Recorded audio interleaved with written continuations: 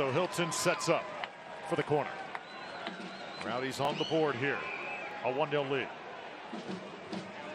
Keep an eye on Jordan Scarlett, number five. Ball coming in his direction. Ball snuck in, and it is a goal! It is Castellanos getting ahead on it. Tampa Bay doubling their lead. How about that? Another player who needs that confidence lift in Castellanos, riddled with injuries. And Zumedio, Zumedio has just had a howler